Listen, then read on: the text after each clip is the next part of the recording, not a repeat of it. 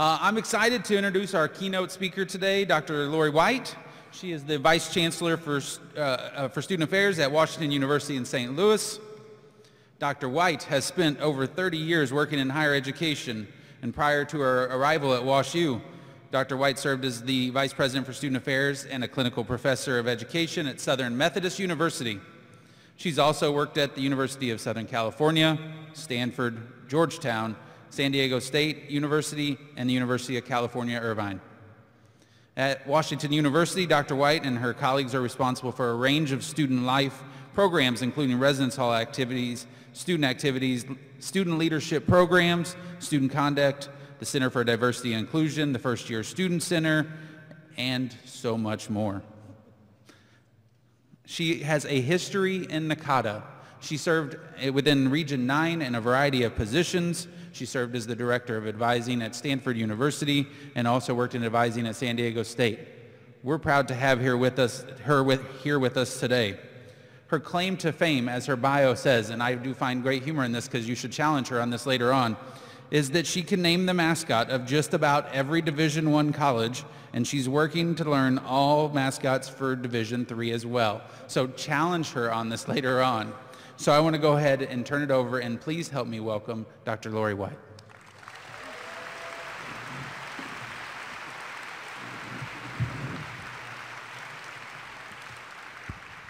Good morning. Thank you so much, Kevin, for that wonderful introduction. And it's so great to see all of you here and to be back among my NACADA peeps. As Kevin said, NACADA was my professional home for so many years when I served as the Director of Advising at Stanford. And it's great to see how much the association has grown uh, in so many years. I'd also like to welcome you to my adopted home of St. Louis. Missouri. And in fact, when I told my family and friends that I was moving to St. Louis, Missouri, they said, are you moving to a flyover state? And I said, well, what's a flyover state? And they said, well, that's a state you fly over when you're traveling from one coast to the other. It's not a state that anybody actually stops in. So I am really glad that you all took the time to stop here in St. Louis. And before I begin my more formal remarks, there's just a few things that I want you all to know about me. And the first is that I come from the African American call response tradition. Now, if you've ever been to a black church on Sunday, then you know all about the African American call response tradition. Because in the black church on Sunday, when the preacher speaks and when the choir sings, they expect to hear a response from the audience. So if in the course of my remarks I say anything that resonates with you, it's okay for you to say, wow. All right. Amen. Go ahead on, Dr. Lori. Or you, as my students do, you can just snap, snap, snap in agreement. Second thing for you all to know about me is that I love to sing. Now, I'm not a trained singer by any stretch of the imagination, but when I speak, every now and then I might slip in a verse or two of a song to make a point or to contextualize my remarks. And some of my favorite songs are old Negro spirituals. They give me uplift when I need some. And they also connect me uh, with my ancestors from so long ago. So if I slip in a verse or two from an old Negro spiritual, I want you all to know that I am offering that from a cultural perspective and not from a religious perspective, because I don't want you all leaving NACADA saying that Dr. White trying to turn NACADA in to a revival conference. So that's not what that's about. And then the third is that I come from an oral tradition, which means I like to tell stories, so you're probably going to hear me tell a few of those this morning. So as we come together in the city of St. Louis to talk about our work as advisors and mentors, I think having a deep deeper sense of the place where we're gathering will be helpful context for my remarks and hopefully for the conversations that occur during this conference. Kevin already talked about all the wonderful things that are part of this beautiful city of St. Louis, the Arch, Forest Park, of course, the St. Louis Cardinals. We were also the site of the 1904 Olympics and the World's Fair, and we're the founding city for many major corporations. I've already mentioned Anheuser-Busch and Ralston Purina and the Brown Shoe Company. We also lay our claim to fame to many famous St. Louisans, including T.S. Eliot, who ironically uh, was the nephew of one of the co-founders of the institution where I work, Washington University in St. Louis. Some other famous St. Louisans are Tennessee Williams and Scott Joplin, Arthur Ashe, Chuck Berry, Dick Gregory, and one of my old-time favorites, Tina Turner. And the musical Meet Me in St. Louis was already mentioned. So those are all the things, of course, that we know and love about this beautiful city. We also, St. Louis and the state of Missouri, have a troubled history. And let me just share some important Missouri and St. Louis historical facts with you and some significant court cases that include the following. The Missouri Compromise. Missouri was admitted to the United States as a slave state, although interestingly, Missouri fought on the Union side in the Civil War because even as a slave state, Missouri had a long history of abolitionists living in the state. The 1857 Dred Scott case, tried at the old courthouse right here in downtown St. Louis, which eventually went all the way to the Supreme Court. And in the Dred Scott Supreme Court decision, the court held, and I quote, a Negro whose ancestors were imported in the U.S. and sold as slaved, whether enslaved or free, could not and never be an American citizen. The decision goes on to conclude that current or former slaves and their descendants had no rights which the white man was bound to respect. The Dred Scott decision is at the top of about every list of the worst Supreme Court decisions in history. The separation of the city of St. Louis from the county of St. Louis in 1876 which over the course of time has resulted in over 90 separate municipalities in the county of St. Louis, and a city that is overwhelmingly African American and without a significant tax base, and a county that is overwhelmingly white. The first part of the 20th century, St. Louis was one of the cities that was part of the great migration of African Americans out of the South to other parts of the country and that great migration significantly increased the number of African Americans living here in the city of St. Louis. Consequently, in 1916, the voters of St. Louis approved a residential segregation ordinance that held that no one could move to a block or subdivision where over 75% of the residents were of another race.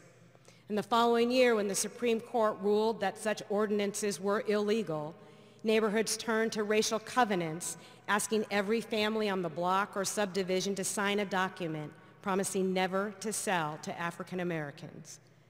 In another seminal Supreme Court decision, Shelley versus Kraemer, the court ruled in 1948 that these covenants were illegal and lifted legal restrictions to housing based on race.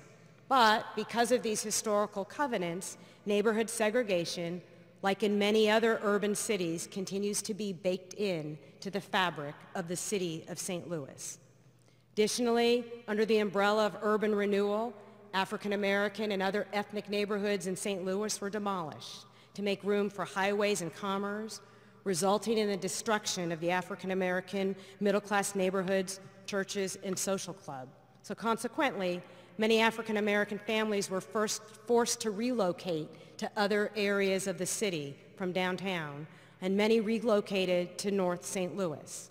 So when you're talking to a St. Louis native, you might hear the expression, the Delmar Divide. So today, north of Delmar Boulevard, which is right around the corner from here, neighborhoods are about 95% black. And south of Delmar Boulevard, neighborhoods are almost two-thirds white.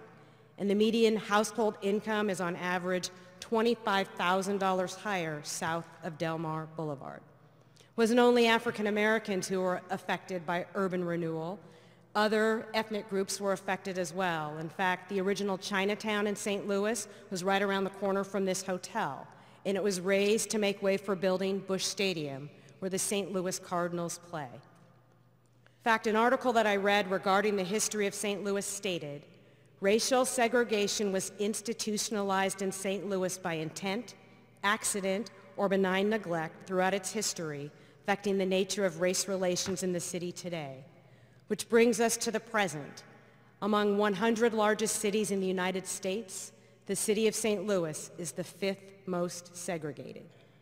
The economic, political, and social fragmentation in the St. Louis region and throughout the state of Missouri has contributed to the racial and social conflict at the root of the Ferguson unrest, the protests at the University of Missouri, the emergence of the Black Lives Matter movement, the protests we've had over the last few weeks in response to the Stockley verdict, and the NAACP travel advisory.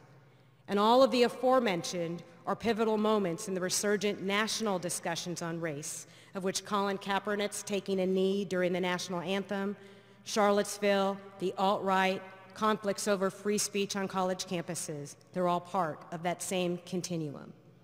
So according to a book I read by Clarence Lang, who's the chair of the African and African American Studies Department at the University of Kansas, and author of a book titled Grassroots at the Gateway, Class, politics, and black freedom struggle in St. Louis says, you can make an argument that border states like Missouri have been bellwethers for where the nation as a whole may be headed.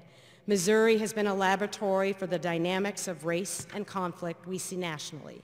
In other words, what we've experienced recently in St. Louis is a precursor or a catalyst for similar events in other parts of the country. It's not just here in St. Louis, it's what is happening all across our country.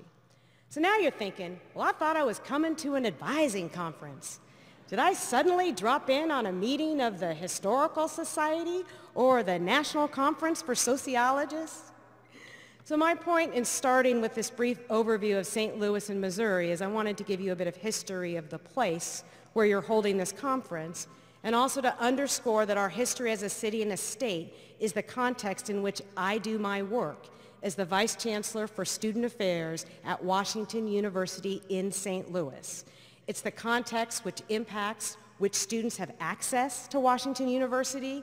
It's the context that influence issues of campus climate and relationships among different groups of students. And it's the context that guides how I advise and mentor students. Now, I'd argue that the same is true for all of you, that your work advising and mentoring students can't be separated from the context in which you do your work. And all of us must be cognizant of the range of issues, academic and otherwise, impacting our students as they pursue their hopes and their dreams. So with that by way of a backdrop, the topic that I'd like to speak on today is academic advising in uncertain times, reflection, rejuvenation, rededication, and reconciliation. So my talk is going to be part contextual in terms of framing the current environment in which we do our work, some of which I've already mentioned, and part personal in terms of sharing with you some stories about what keeps me in the higher education field despite these uncertain times. And I'm also going to encourage you to think about what you can do to continue to stay engaged in our work and with our students. It's indeed an interesting time to be working in higher education. If you read any series of articles about the challenges we face on our campuses, here are some of the top issues that are demanding our attention. Student mental health, student diversity, campus safety, risk, and liability, advising and career services, student activism, social media, the rising cost of college, sexual assault, alcohol and drug abuse, student access, retention, and success. And I probably should have put up another bullet that said, whatever the federal government is going to require us to do. Yeah, no additional comments there.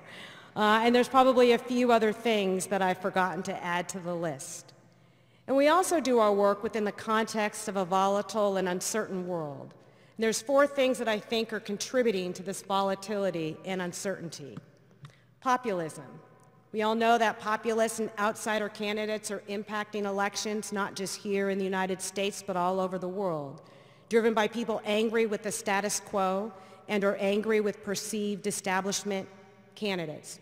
People are losing faith in elected representatives that come from more traditional backgrounds.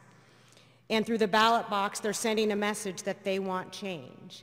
And while young people on our campuses may not always cast a vote, though we certainly should continue to encourage them to stay involved and engage in the political process, They are part of the loud, the loud chorus of voices shouting, the status quo has got to go. And often our students see us, administrators on campus, as part of that status quo. Activism. All over the globe, people are sending change messages not only through the ballot box, but through other forms of activism, taking to the streets, using social media, or by some accounts, using any means necessary to protest perceived and real injustice. And our students are often active organizers or participants in these protests and calls for change.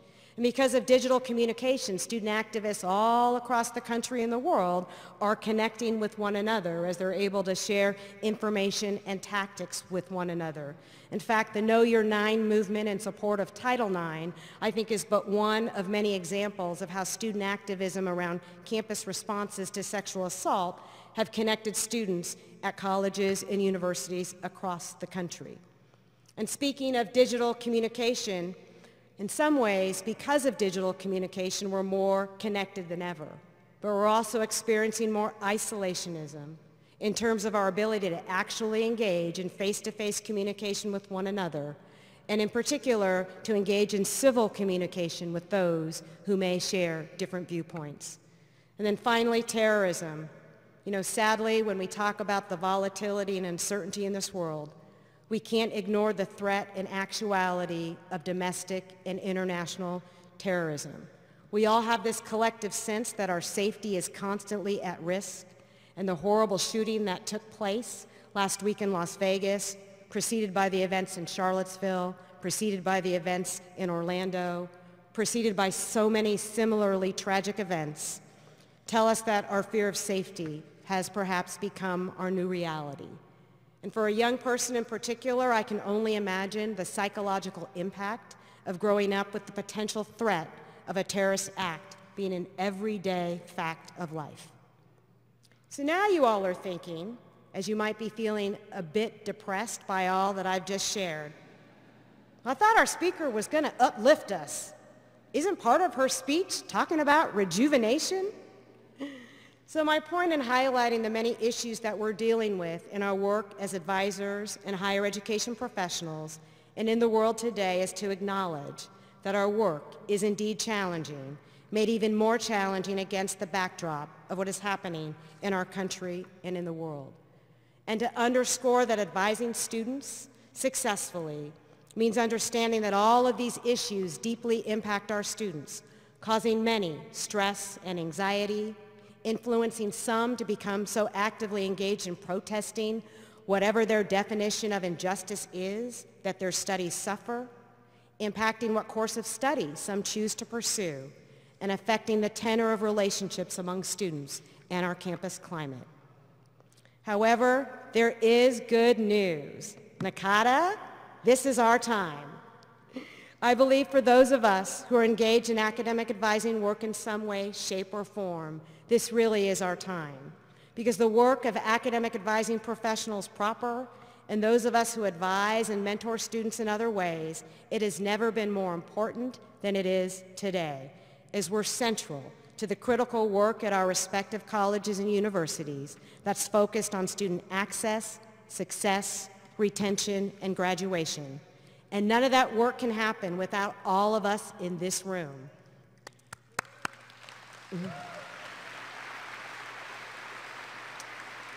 And it can't happen without our ability to exemplify NACADA's core values of respect, inclusivity, caring, and empowerment, among others. So knowing the integral role that we play on campus, I should be able to go to work every day with my Wonder Woman outfit and tackle all the problems on my campus. with my trusty sword and shield. However, as I approach my work, sometimes I feel, in the words of one of my favorite spirituals, that I've been in the storm so long. The song, for those of you who may not be familiar with it, goes like this. Been in the storm so long, I've been in the storm so long, children. I've been in the storm so long. Oh, give me the time to pray.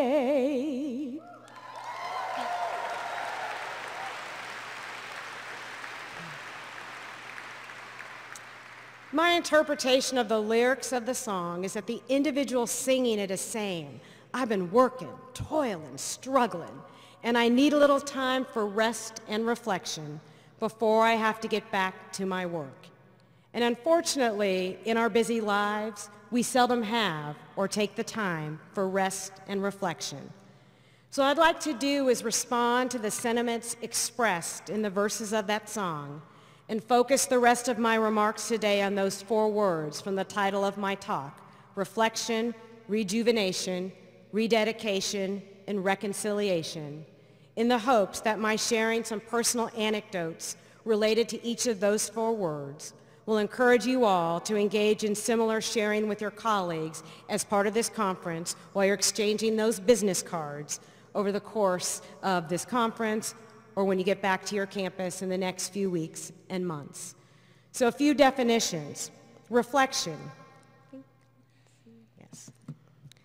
Personally engaging in reflection about who I am and why I work in higher education and how I approach my work is what helps gird me for the next set of known and unknown challenges I may face in each new academic year.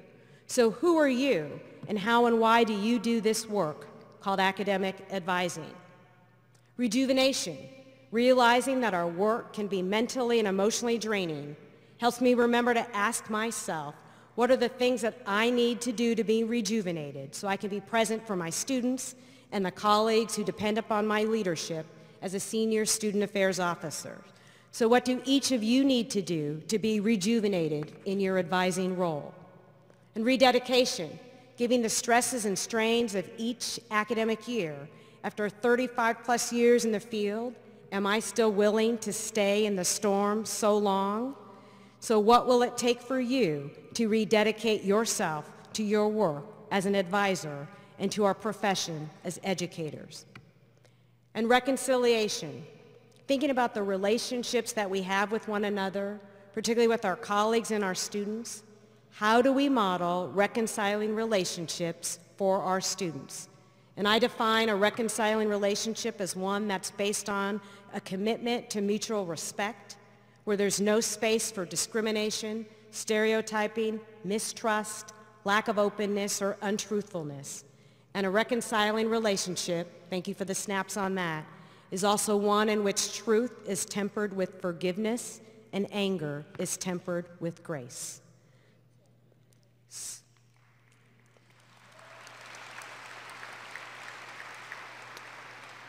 So what must we each do to facilitate reconciling relationships in the toughest of times? So you don't remember anything else about my remarks this morning, I hope you'll remember those four words, reflection, rejuvenation, rededication, reconciliation. Now I mentioned call response earlier, so I'm going to issue the call, and I'm going to say each one of those words again, and I want you to respond so I know the call has been heard. Reflection. Rejuvenation. Rededication. Reconciliation. All right. So I first want to talk about reflection. A few weeks ago, I had a chance to go with my husband to his college reunion at Purdue University. Yay, any Purdue folks? Right on. And it was a great time to take a walk down memory lane with my husband. So let me tell you a little bit about him. His name is Tony, and he is a first generation college student. His parents, all right, right on.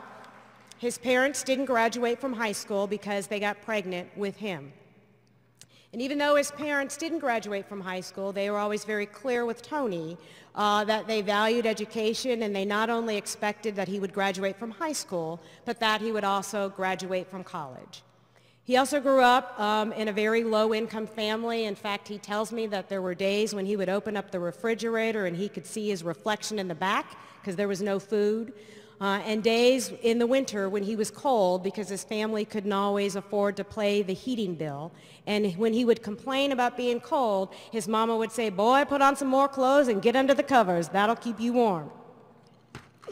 He was always a good student.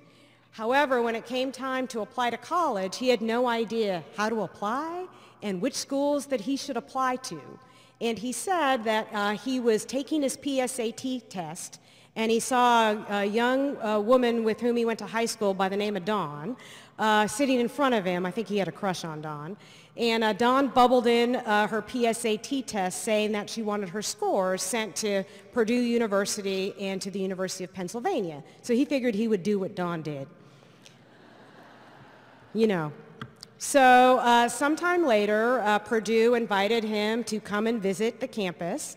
And so for the first time, he got on a plane and he flew from East Orange, New Jersey uh, to West Lafayette, Indiana to visit Purdue.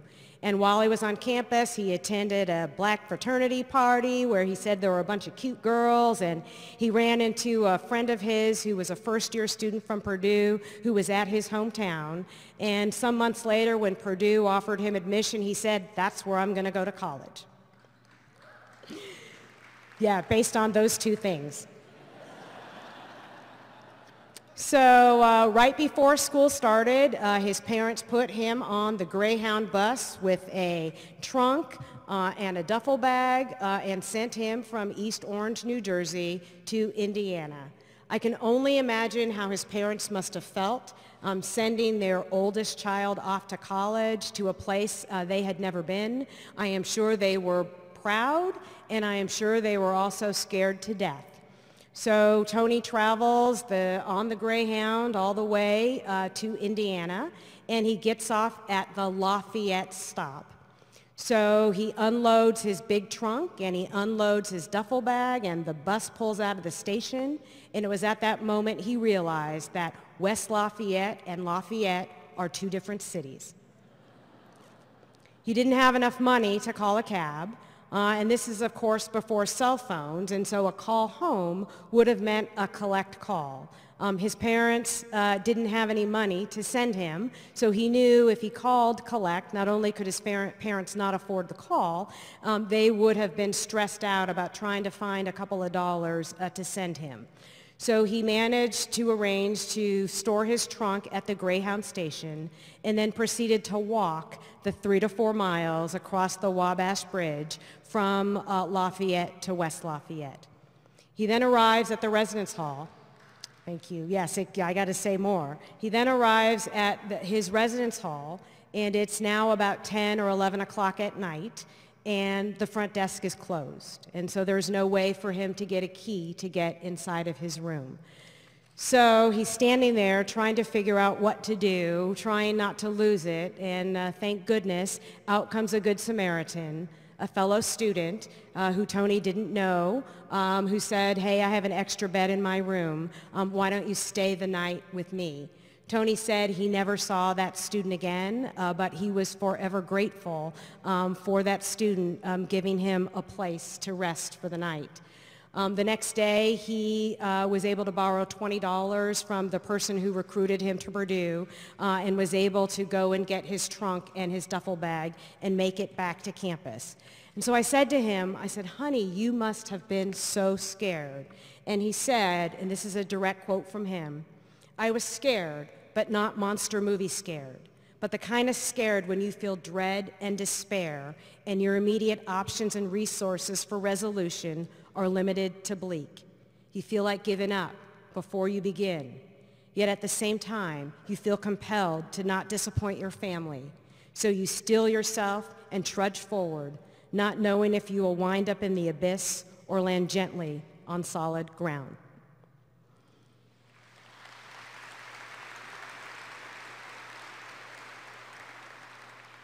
Now, Tony had not attended New Student Orientation because no one told him that he was supposed to. Remember, he's a first-generation college student. So he still had to register for classes, which meant, if you remember back in the day, um, standing in line in the gym, trying to figure out which classes weren't closed so that he could get a schedule for the fall. A few other pivotal moments for Tony as an undergraduate student. He ended up on academic probation, but he consequently made a connection with the person who was his academic advisor, who ultimately became his inspiration for pursuing a career in higher education.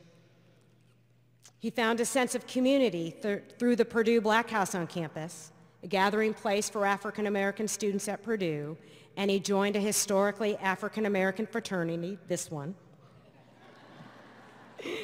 with a strong brotherhood focused on high academic achievement. He also decided to stop out of Purdue after his first year and move home and enroll at the local community college so he could play basketball. He'd been a basketball star in high school and hadn't had success walking on to the basketball team at Purdue, so he thought he would go back home to the community college um, and become a basketball star. He had an uncle who many years earlier had given up a football scholarship uh, and returned home because this uncle felt he had to get a job and work to support his family.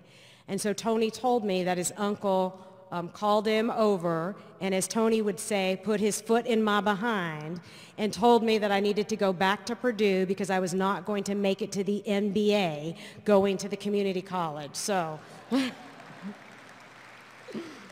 and I know we have many community college folks out here, and if he had wanted to go back to the community college for an academic reason, that would have made a lot of sense, but not to pursue an NBA career. He's about 6'4", but not tall enough probably to make it to the NBA. Ultimately, Tony graduated from Purdue with two degrees, bachelor's and a master's in clinical psychology, and he's currently working on his doctorate. In fact, he's a classmate of one of the former NACADA presidents, David. All right. and he's had a long career uh, working in higher education. He's currently the assistant provost for student success at Washington University, working with first-generation students and students who are Pell Grant eligible. So life does come full circle.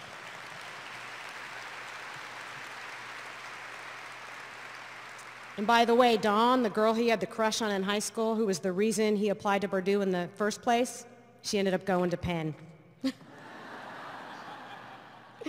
So as Tony shared his story with me, I thought about all of the students that we work with every day, particularly our first generation students who's getting to and arriving at college are similar to Tony's and may be feeling in some way the same way that Tony felt.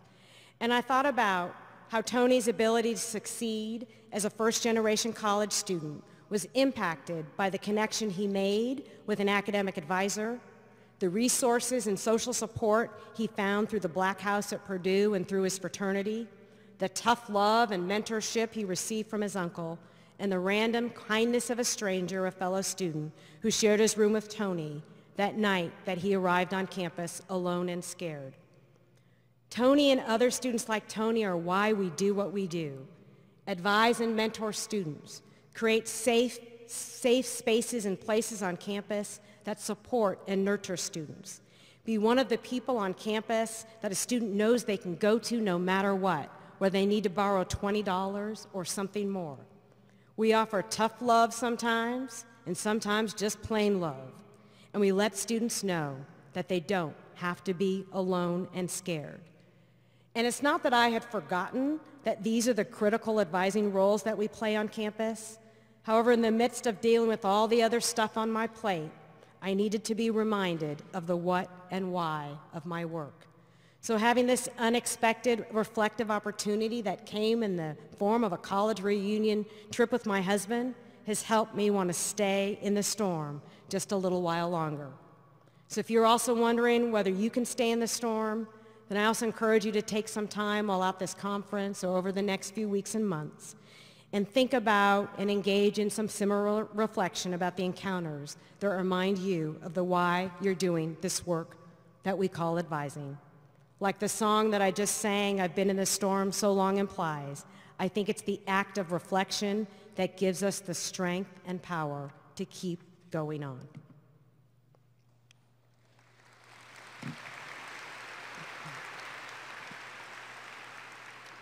Rejuvenation.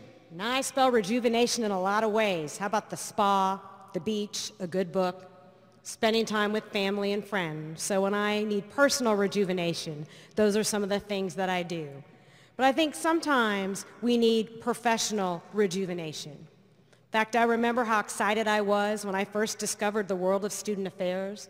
You know, the first time somebody tells you you can get paid for all the stuff that you love to do, advise, mentor, counsel, and teach students, plan fun and engaging programs, feel like you're doing work that's making a difference, plus the added benefit of being that person on campus that everybody thinks is so cool.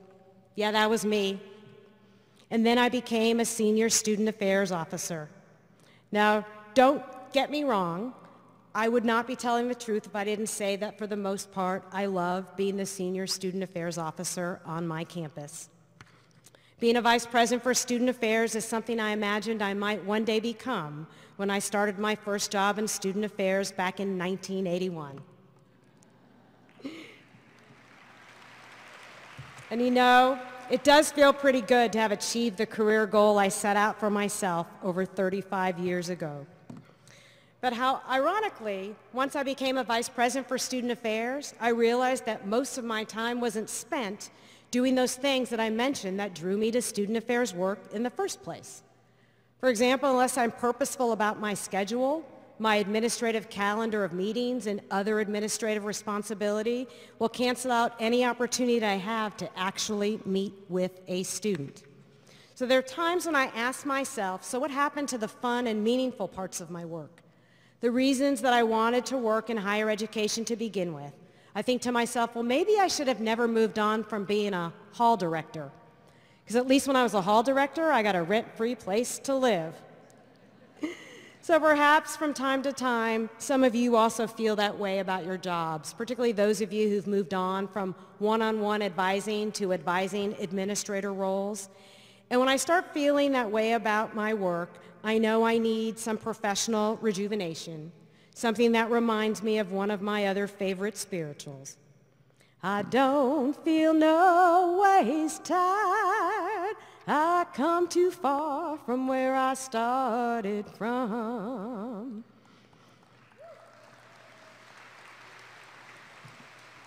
So coming to conferences like NACADA and others are a great space, I think, for professional rejuvenation. But what also rejuvenates me both professionally and personally is the opportunity to work with and mentor younger professionals in our field, folks who are undergraduate students who are thinking about a career in higher ed, or folks who are graduate students like one of the young women I met over here who's in the purple outfit. Stand up, she's a grad student. And I think for many of our grads and some of the uh, undergraduate students that we mentor who ask us, well, how do I get to do what you do? I think the reason for their career choice is because they've seen folks like us making a difference in their own lives as students and in the institutions where they've attended and worked. And our new and emerging professionals bring to our campuses diverse ideas and perspectives. They challenge us to think differently about our work so that we're able to better serve a new generation of students. And they always keep us on our toes by asking good and challenging questions about why we do the things the way we seemingly have always done them. So whenever I have a chance to interact with a younger professional in our field, I am reminded that regardless of the many challenges facing those of us who work in higher education, those of us who've chosen to serve as academic advisors or in other student affairs positions play such a critically important role on our campuses in terms of creating supportive communities for all of our students, responding to students in crisis, advocating for policies, programs, and services that impact student success, and being that voice at the table who says, and how will this, fill in the blank, impact our students? So in those stressful moments when I'm dealing with yet another campus crisis that causes me to wonder about my career choice as a student affairs professional, Serving as a mentor to a newer professional in the field is a great way for me to pay forward the great advising and mentoring I've received that enabled me to achieve my own career goals. So as you think about what you need to do to be personally and professionally rejuvenated, I hope that that rejuvenation experience includes spending some time interacting with and mentoring someone newer to the field than you are. Getting a fresh perspective helps us more seasoned professionals remember that we truly have come a long way in a good sense, I hope, from where we started from. I know that I certainly have, and I certainly appreciate the energy that our grads and our younger professionals bring to our work and to our profession. Rededication. The end of the school year is, of course, graduation time, which means listening to a graduation speaker. And the picture on the screen is of United States Congressman John Lewis, who served as the 2016 graduation speaker at Washington University in St. Louis. He's one of the last surviving leaders of the civil rights movement. And his message at the graduation focused on the theme of finding a way to get in the way was one of the most inspiring I've ever heard at a graduation ceremony. And his words have continued to stay with me. His message was that we must stand up, speak up, and disrupt the status quo whenever and wherever we see injustice in the world. What was most inspiring, yes, thank you. What was most inspiring about his message for me was that even though this man has been through so much, despite all the battles he has fought, he is still in the fight. And at the age of 77, he is still preaching a message of hope and faith that we will one day live in a world of peace. John Lewis, yes, I hope we get there. John Lewis was at the March on Washington when Dr. King delivered his I Have a Dream speech, a speech with which we are all familiar. One of Dr. King's other famous speeches is called The Drum Major Instinct, from which his famous quote, say I was a drum major for justice, emanates. In his drum major speech, Dr. King makes the point that most individuals are more interested in being the drum major leading the parade for the accolades we receive as opposed to being driven to lead the parade in love and service to mankind. So we might volunteer a little here and there, maybe donate to a few charities, and be willing to help someone we personally know who is struggling. But we really don't want to do much more than that. It's not that we don't care about other people. We just don't really want to worry about trying to save the world. We have our own problems to deal with. And dependent upon where we live, what we say, and how we say it, we may run the risk of danger to ourselves and to our families for speaking out. So given all of this, we think to ourselves, really, how could one person truly make a difference given all the problems in the world today? Or we ask ourselves whether the risk to ourselves personally or to our families is worth it. Yet, at the same time, all of our universities have somewhere in our mission statement that we attract, create, produce, and or shape world-changing and world-leading students. How can we help our students live up to our inspirational, excuse me, to our institutional values or our aspirational vision statements if we are not willing to be drum majors for justice ourselves?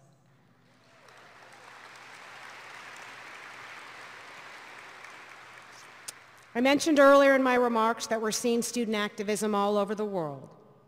As these students, our students, have seen and experienced injustice, they volunteered to be the drum majors for justice Dr. Martin Luther King describes in his famous drum major instinct speech. I recognize that those of us who work in higher ed sometimes feel tension between supporting our students' advocacy and being university administrators. However, are we going to let our students do all the work of ensuring that the world is equitable and just? Or are we as advisors and mentors to our students going to, in the words of John Lewis, find a way to get in the way and stand with them and stand up in our own communities?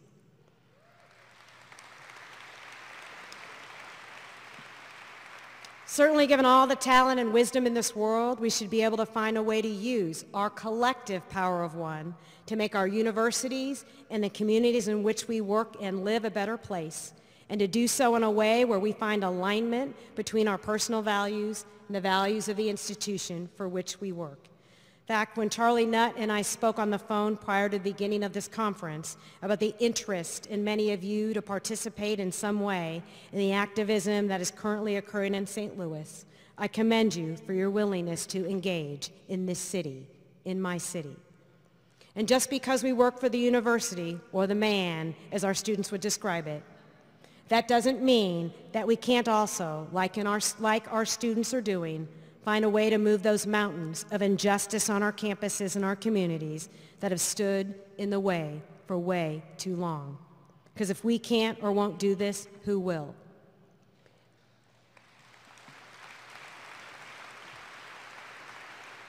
And John Lewis, at the young age of 77, certainly don't feel no ways tired. And I thought to myself, as he brought his graduation speech to a close, if he's still on the battlefield, then surely I can stay on the battlefield. In fact, one of the songs John Lewis sang during his early civil rights days, and probably is still singing, is, Gonna stay on the battlefield. I'm gonna stay on the battlefield. I am gonna stay on the battlefield till I die. I am going to stay on the battlefield. I am going to stay on the battlefield. I am going to stay on the battlefield till I die.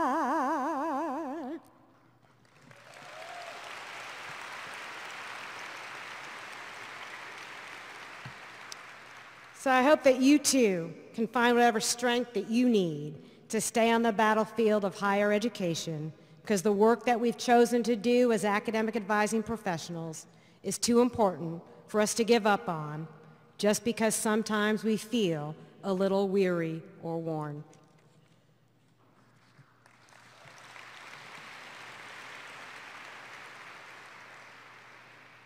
And then finally, I want to end by talking about reconciliation. And many of us, when we hear the word reconciliation, we think about reconciliation in terms of romantic relationships. I skipped a slide. you know, all those break up to make up and will you come back to me songs that seem to be the main theme of all those old Motown songs that I grew up listening to. I'm going to skip those. and before I met my husband Tony, I listened to way too many of those songs myself. However, that's a story for another day. So in the last part, and I'm going to get to the picture on this slide. So in the last part of my remarks, I don't want to talk about relationships gone bad, though I do want to talk about, not rom- romantic relationships gone bad, but I do want to talk about other relationships. And I want us to ponder the question of how does one get to the spirit of raci- re- excuse me, relationship reconciliation in the context of the two words I mentioned during my introduction to this talk. Those two words are truth and grace. On our campuses, we can certainly define relationships in many ways, including the relationships students have with one another, the relationships students have with our institutions, and the relationships students have with us. These intersecting relationships sometimes become strained on our campus communities, and students often look to us for help to help them navigate them, to respond to and or resolve the relationships that they're finding challenging on campus for any number of reasons.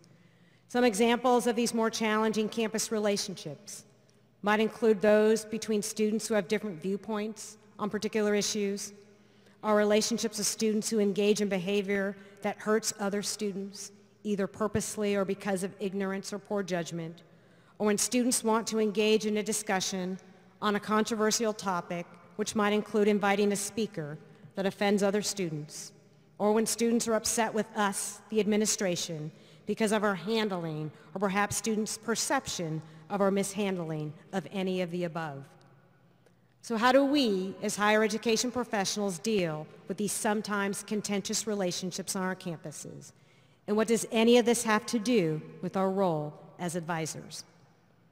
Recently, I had the chance to attend an international higher education conference, this one held not in Dublin, but in South Africa, which was my first visit to this country hence the picture of Nelson Mandela. And as you know, South Africa for many years practiced legalized racial discrimination in the form of apartheid. And in many ways, their history is not that much different than, than ours. And I contend much of the stuff that we're dealing with here in our country today is a result of the fact that we've not honestly and truthfully dealt with our own history and legacy of apartheid here in our country.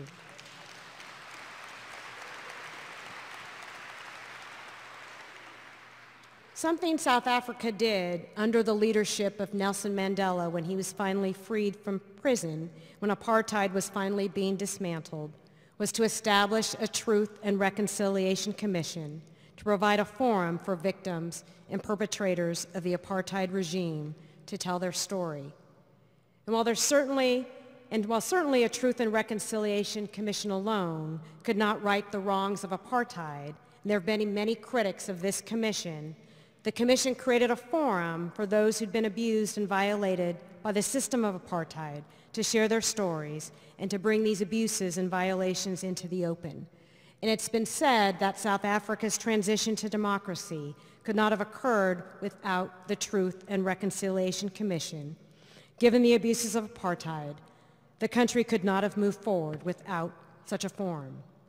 And what I think is important to understand about the South African example of reconciliation is that a process was established to give those who had been hurt by the action of others a forum to share their stories, as well as a process for those who have been perpetrators of the system of discrimination to also share their stories, sharing their respective truths in as open and transparent a way as possible. However, truth is only one part of getting to reconciliation, the other I would offer, as I said in the beginning of my remarks, is the concept of grace. Universal spiritual is amazing grace. Amazing grace, how sweet the sound that saved a wretch like me. And the person singing that particular song is saying that no matter what I have done, grace is being offered to me, and this grace enables me to move forward despite my transgressions and my imperfections. So going back to my South African context, what we also know about South Africa is that Nelson Mandela, was imprisoned by the apartheid system for 27 years, focused on the pursuit of reconciliation with his oppressors when he certainly could have chosen a different path. Grace was embedded into South Africa's Truth and Reconciliation Commission, where perpetrators of apartheid were given amnesty for coming forward. There were many who were angry with Mandela for this offer of grace or amnesty to the oppressor. However, Mandela knew that grace had to be offered to his oppressors as a means of achieving the greater vision of a democratic and racially, economically, and socially just South Africa. My point here is not to idealize South Africa. It's a country like ours that still has many, many challenges and South Africa had a clearly defined oppressor, where the U.S. election showed us that in this country we have differing viewpoints regarding who is oppressing whom. However, those concepts of truth and grace have stuck with me as I pondered how I might use my South African experience personally and in my work. I know that I personally have a hard time listening to the truth of others who do not share my viewpoint, and it is tough to grant grace to those whose words and actions I believe negatively impact the people and the issues that I care about. However, we are not going to be able to move past the polarization occurring in our world and on our campuses unless we can figure out some way to get to truth and to grace.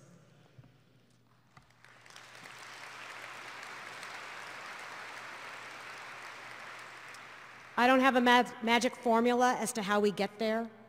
I only know that we must figure out how to try. And as advisors, we often hear from students who have felt that they are the targets of oppression or are being accused of oppressing, triggering, and or discriminating against other students.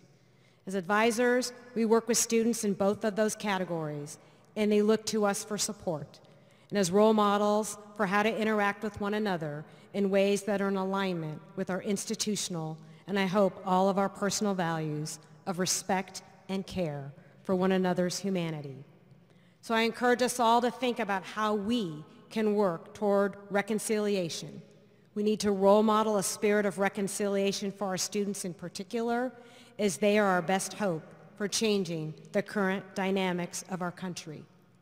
For the greater good of our collective humanity, I think we have to remember in the words of Bill Withers, lean on me, that we are interdependent on one another. So how about, like we did just a few minutes earlier, why don't we stand up and stretch our legs, join hands with someone,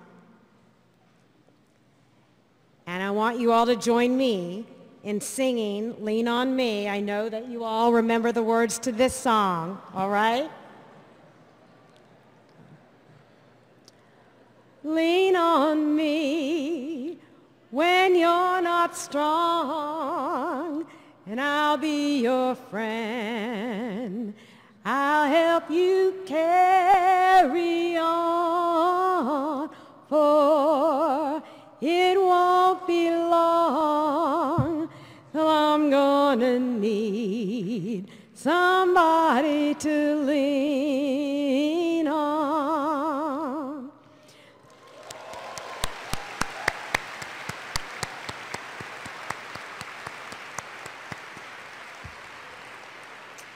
So as we continue our conversations today and over the next academic year and beyond, let us give ourselves the space for rest and reflection.